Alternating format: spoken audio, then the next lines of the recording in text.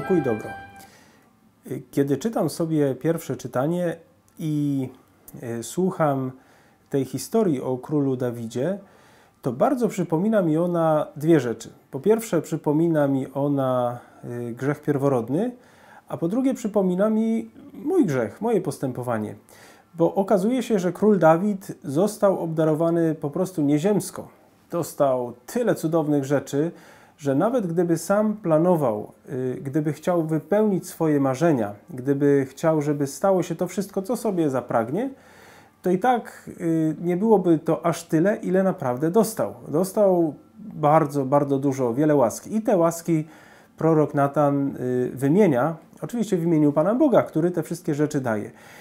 Y, I Dawid, mając to wszystko, jednak skupia się na czymś, czego nie ma. Ma jakąś swoją y, inną chętkę, potrzebę, pragnienie, która wie, że nie jest dobra, że nie powinien tego chcieć, ale jest tak do niej przyklejony, że ponieważ ma władzę, ma taką możliwość, wyciąga rękę i bierze sobie to, co nie jest jego, to, co do niego nie należy.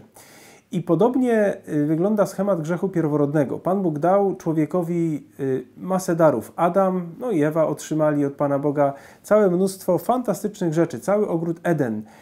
Y, te, te wszystkie rzeczy, stworzenie, którym Adam nadaje imię, które staje się jego własnością, które ma mu służyć, a przede wszystkim otrzymuje bliskość Pana Boga, otrzymuje możliwość bycia z Bogiem, rozmawianie z Nim, no, bycia twarzą w twarz. Jedyny zakaz dotyczy owocu z jednego drzewa. I tenże właśnie nakaz y, Adam i Ewa łamią, tracąc tym samym bliskość z Panem Bogiem, jaką mieli.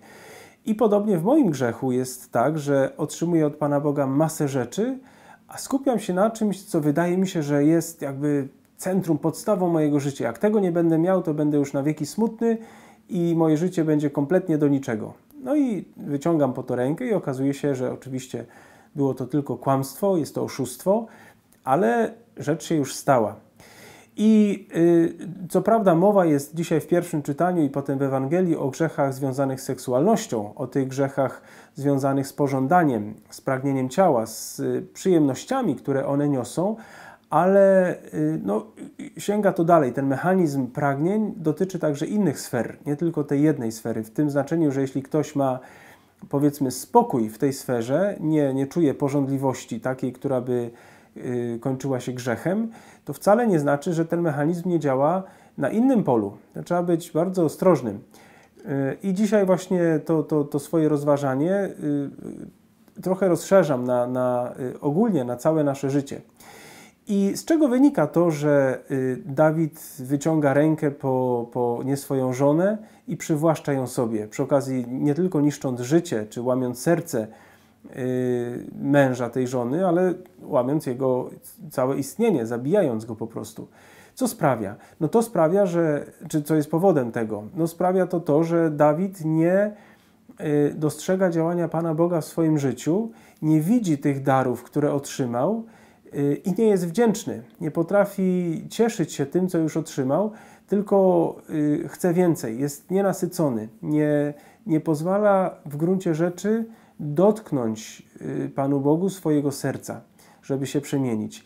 I kiedy następuje w nim refleksja, że jednak zrobił źle? Bo Dawid dochodzi do tego, że popełnił strasznie ciężki grzech, wielkie świństwo, już nie tylko wobec Uriasza i nie tylko wobec jego żony, ale przede wszystkim wobec Pana Boga, Jego niewierność, y, niewdzięczności. Znaczy, niewierność i niewdzięczność. O, to chyba lepiej brzmi. Y, kiedy sobie zdaje sprawę? Wtedy, kiedy prorok opowiada mu tę historię o człowieku i owieczce. To można sobie doczytać. Kto nie pamięta, że był pewien bogacz, który miał pełno forsy i przyjechał do niego jakiś znajomek. No i temu żal było wyciągnąć coś ze swojego stada czy z piżarni, więc zabrał owieczkę biedakowi, który miał tylko tę owieczkę. To było jego jedyna nie tylko już własność, ale też była jak jego córka, jak to mówi nam pismo. No ale ten zabierają, i, bo ma taką możliwość, bo ma taką władzę. I Dawid mówi: Ten człowiek jest winien śmierci. I Natan mówi: To ty jesteś tym człowiekiem. I to mówi też do mnie: To ty jesteś tym człowiekiem. I mówi też do ciebie: To ty jesteś tym człowiekiem, który zgrzeszył, który zawinił, który popełnił wielki grzech. I reakcją Dawida na to jest przyznanie się do winy, jest uznanie swojego grzechu. I następuje to po refleksji, po zdaniu sobie sprawy, po zatrzymaniu się, po myśleniu.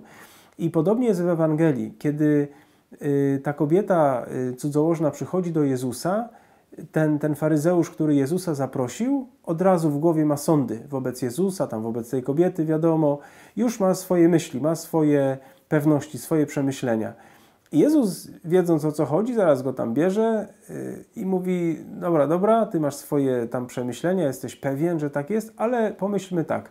I daje mu tę historię, tę przypowieść o, o, o panu, który darował dług dwóm swoim sługom. I znowu na podstawie refleksji, zastanowienia się, zatrzymania się, rozważenia, tenże y, gospodarz, który przyjął Jezusa, y, dochodzi do prawdy, odkrywa znowu prawdę, że ten, komu się wiele wybacza, może wiele miłować i jest zdolny do szalonych czynów miłości. Wcześniej tego nie, nie był w stanie odczytać, no bo zabrakło mu refleksji. Natychmiast wkłada w całe zdarzenie swoje myśli, swoje rozumienie, swoją pewność, bo ja wiem lepiej. I dopiero kiedy Jezus go zatrzymuje, poprzez tą historię, którą mu opowiada, otwiera trochę jego serce, jego oczy, ten człowiek kapnął się, że jednak no, chyba nie do końca miałem rację. To, co z tym potem robi, to już jest inna sprawa. Czy pójdzie za tym, czy nie pójdzie, czy to wywoła jego gniew, czy skruchę, to jest insza inszość, ale ma możliwość poprzez refleksję zdanie sobie sprawy, co zrobił że, że to jest jego wina. I, I święty Paweł w drugim czytaniu mówi nam podobnie, że nie mamy siebie pchać na pierwsze miejsce, ale, ale wszystko ma być w Jezusie. On ma być pierwszy, on ma być postawiony w centrum i według jego myśli, myśli Jezusa mam reagować, mam myśleć. Nie swoimi tylko emocjami, odczuciami, ale dopuszczać Jezusa do głosu. A to się dzieje wtedy, kiedy robimy refleksję, zatrzymujemy się, rozważamy dzieła, których Bóg dokonał już w naszym życiu, czyli kiedy robimy rachunek sumienia. Potrzebny jest zatem y, rachunek sumienia, zastanawianie się, co Bóg już zrobił w moim życiu i co ja zrobiłem. Bez tego naprawdę nie jest możliwe, aby odkrywać działanie Pana Boga w nas, być Mu wdzięcznym, być nasyconymi tym, co nam daje, bo daje tyle, że można, y, uszami nam może wyjść ta łaska, tyle jej jest, bo nie przejemy jej ale jeśli ktoś jest nastawiony na siebie, słucha tylko siebie, to zawsze będzie pragnął czegoś więcej. Zawsze będzie nienasycony, niezadowolony i zawsze będzie kwękał. Żeby tego nie było i tego uniknąć, trzeba Pana Boga uwielbiać, być Mu wdzięcznym, no i robić refleksję nad swoim życiem. Aha, jeszcze zapomniałem powiedzieć przecież, że pozdrawiam bardzo serdecznie z klasztoru sióstr Klarysek z Miedniewic. Tu właśnie dzisiaj powstaje nasze rozważanie. Pokój i dobro.